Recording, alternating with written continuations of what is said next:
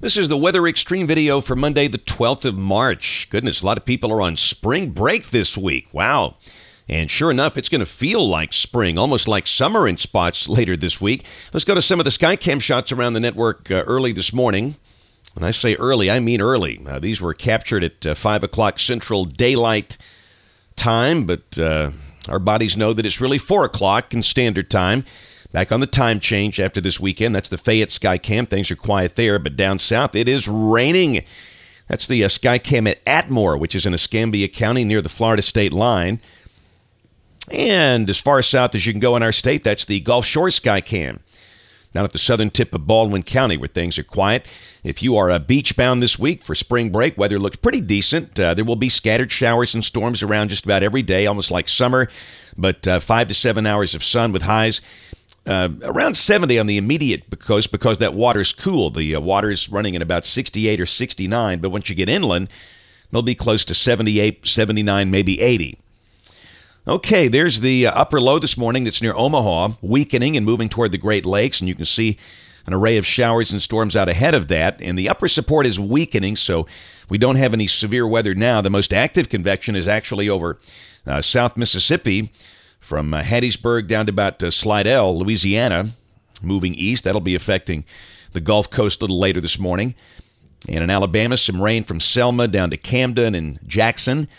But the northern half of the state is quiet. Up this way, the, the better chance of showers and storms will come later today, this afternoon.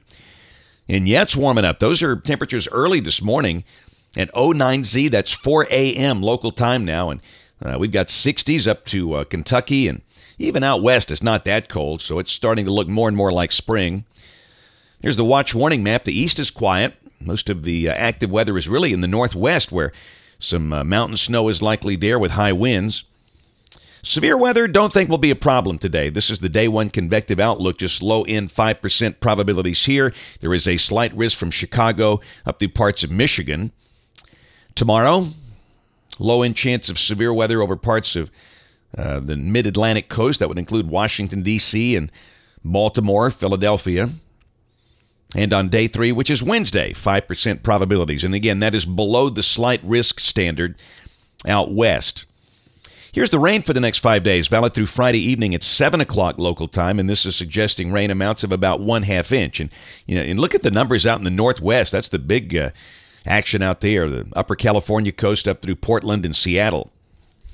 All right, let's check the modeling. This is the 06Z GFS valid at 1 o'clock local time today. We're on the time change, so, you know, the universal coordinated time doesn't change. So this is 1 o'clock this afternoon.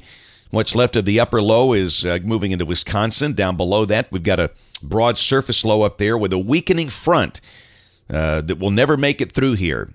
And again, we'll have a chance of showers and storms later today. Not going to rain all day. Maybe a strong storm, but severe weather not likely. Tomorrow, the ridge is building. And that means we'll warm up. Uh, down below that, the, the, the air is going to be moist every day. It's going to feel almost like summer. And that means some chance of a shower or storm, mainly in the afternoon. Small scale, mesoscale processes will kind of determine the rain chances, much like summer, and those are hard to identify more than 24 hours in advance. But kind of a partly sunny day. Some spots could see a shower or storm, but it'll be scattered. Wednesday, same deal. And, and look, we're going to warm up. The, the latest guidance is coming in with 81. Both the GFS and the NAM are at 81 on Wednesday. Goodness, that's getting close to record warmth. Have to get up in the mid 80s for records this time of the year. Thursday, same deal. I mean, the weather's just not going to change. Low 80s, maybe a shower storm in the afternoon. And Friday, pretty much the same thing. So if you like warm, you're going to love this week. It's just like summer. And again, every day, yes, a chance of a shower or storm. They'll be, but they'll be scattered, and no human can tell you, you know, days in advance exactly where those things will pop up. And there's the upper chart on Friday, and there's the ridge that's you know building in. So and the trough is in the northwest. Saturday, as we start the weekend, no change. Uh, probably low 80s, partly sunny, breezy.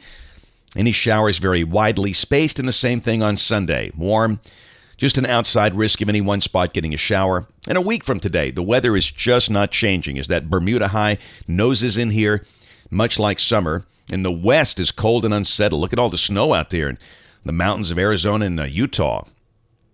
We'll check the end of the forecast, March 27th. No cold air look there. You know, we're waiting for that late season cold snap. We see no evidence of that.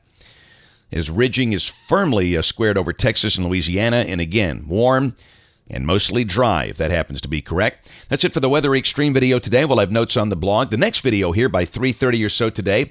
And if you live around here, or even if you don't, don't forget to watch us on television this evening. You watch us on the live stream on the internet.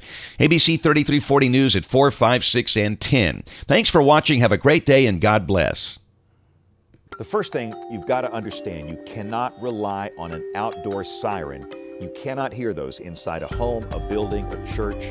It won't work. You've got to get something inside your house. That's a weather radio or maybe a smartphone app. We work with a company that's developed a wonderful weather radio app for Android phones and iPhones. It knows where you are, and if you're in a tornado warning polygon, you get the warning. And if you're not, you don't. It's an effective device, and it's a great way to be sure you get the warning.